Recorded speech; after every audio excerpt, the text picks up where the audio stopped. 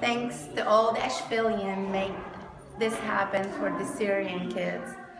And definitely Hadaya's toys for all the books and gifts.